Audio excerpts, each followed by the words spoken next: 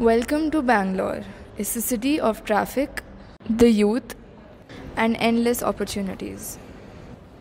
So, when, during a college project, we were to explore the city's colonial heritage, we could not be happier.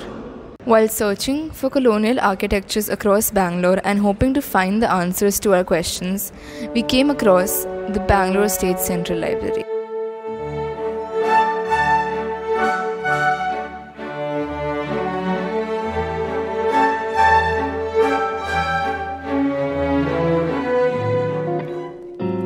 Armed with a tripod and a dream, we set out to film and understand the colonial heritage of Bangalore through the eyes of an architectural marvel.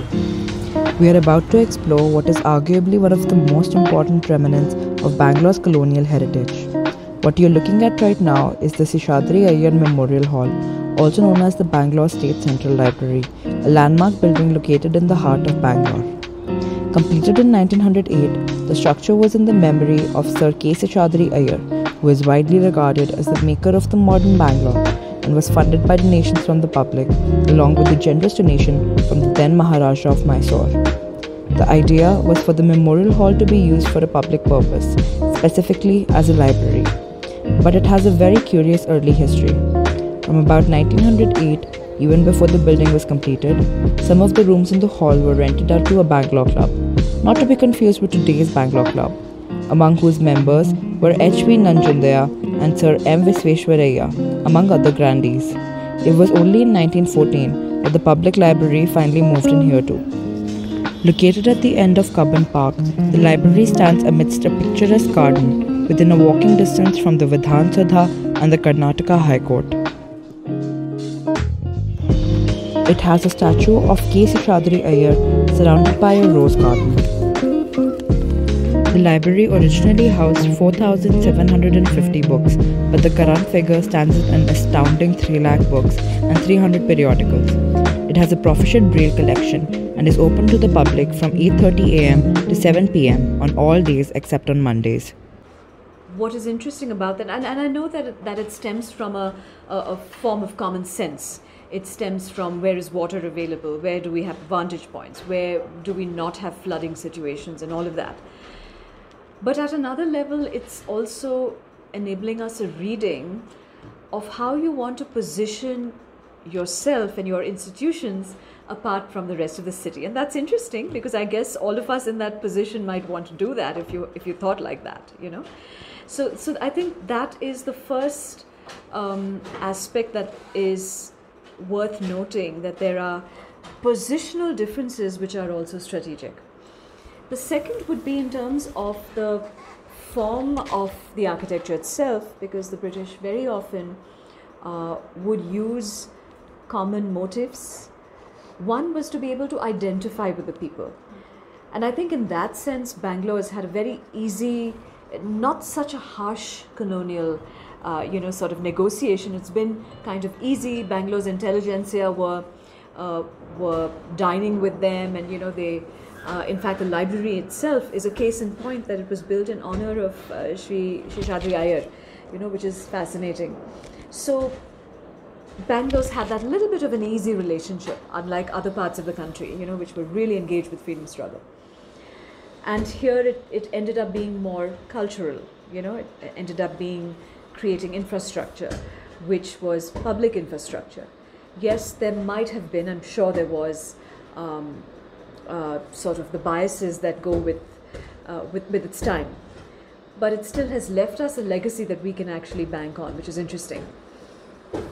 Um, in terms of the architecture itself, I would say that it pretty much follows the Indo Saracenic pattern that they alluded to in order to be able to establish um, identity within a new context.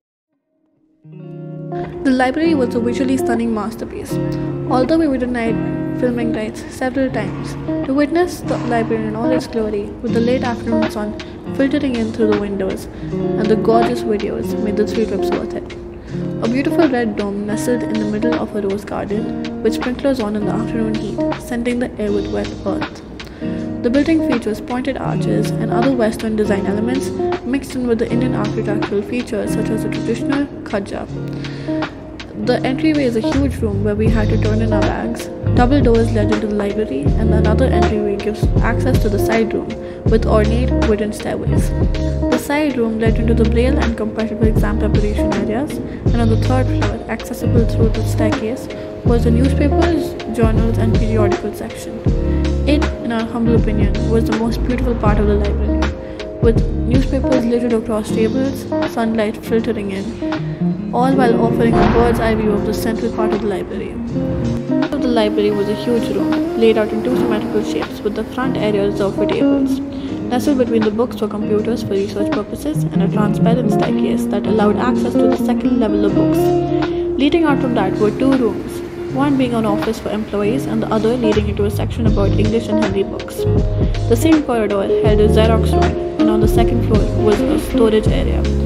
It was a magnificent structure with ornamental arches and a massive false ceiling, and the librarian's table sat in the center of it all. So, um, Victorian, as you read, was a set of eclectic styles, you know, which kind of commonly began, began to be called Victorian.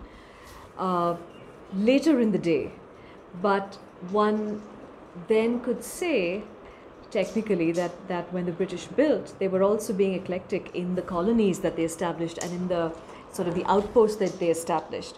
So I think all of what we're seeing as termed colonial is essentially eclectic.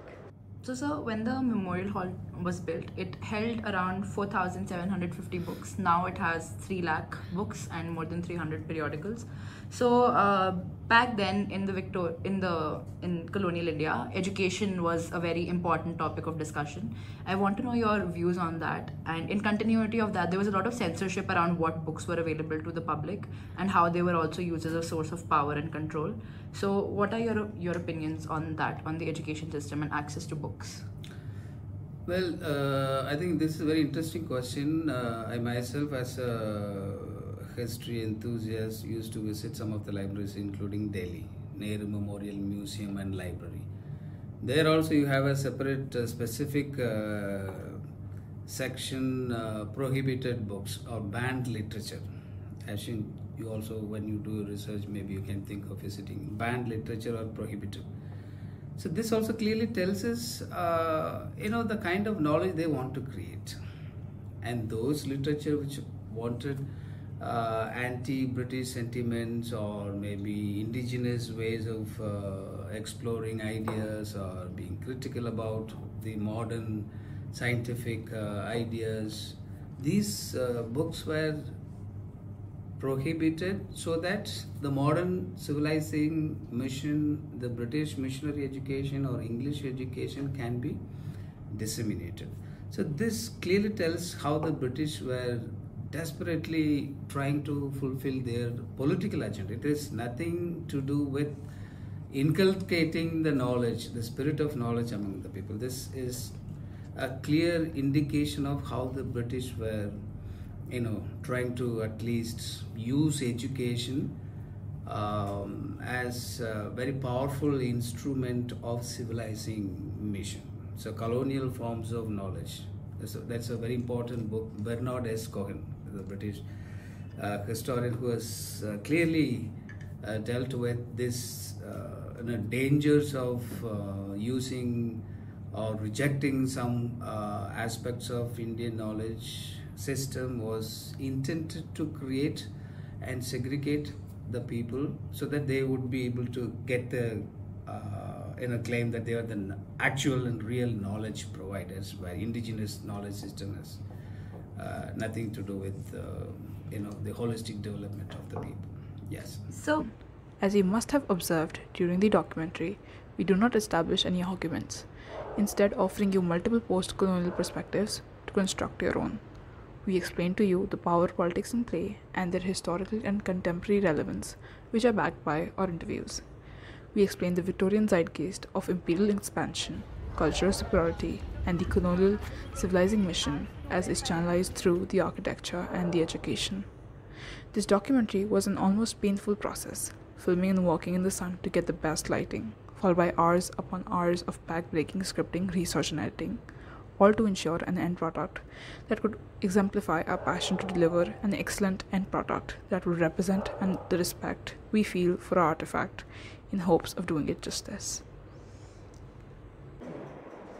I think I think one rues the loss of um, the cognition of history made available to us, and I think that's where um, maps, documents, documentaries like yours would be important to sort of just revive a little curiosity, you know, to be able to really look at uh, infrastructure as it, it has existed from the beginning of